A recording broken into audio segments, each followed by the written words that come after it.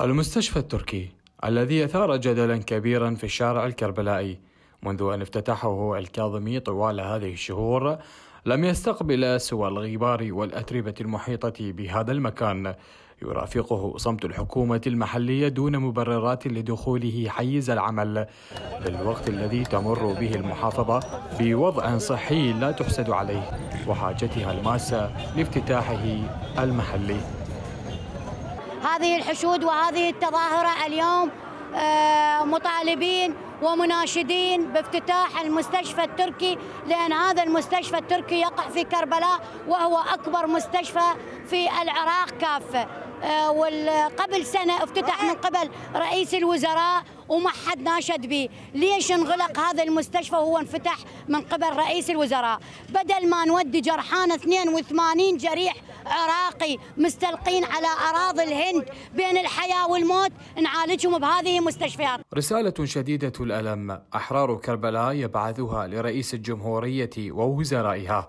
في الوقت الذي تبعث مصابي ساحات الاعتصام لدولة الهند توجد مستشفيات نسبة إنجازها كاملة.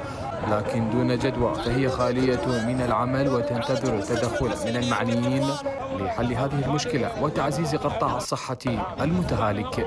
اليوم نوجه رسالة من خلال قناتكم من ساحة أحرار كربلاء إلى رئيس الجمهورية ورئيس الوزراء ورئيس البرلمان.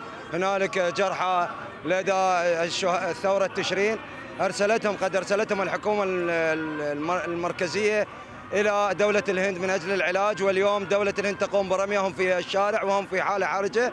فنرجو من جميع أصحاب القرار والذين مختصين بهذا الموضوع آه، الاهتمام بهذه ونظرة أبوية رحمانية من أجل آه، رحمة هؤلاء الجرحى البالغ عددهم 82 جرح لحد الآن المستشفى التركي في كربلاء خارج نطاق الخدمة. آه، ما نعرف شنو الأسباب. الحكومة المحلية تقول أن هناك جهات حزبية فاسدة تأثرت على افتتاح المستشفى. هم مطالبين بالكشف عن هذه الجهات ولا هم مقصرين؟ بالإضافة إلى الحكومة المركزية هم مقصرة. فبالتالي إحنا مستمرين في هذه المسيرات وهذا الضغط الإعلامي لحين فتح المستشفى التركي. كربلاء لا تختلف كثيرا عن المحافظات العراقية لافتقارها. للبنى التحتية والأساسية للجوانب الصحية لقناة التغيير الفضائية جاسم الهميم كربلاء.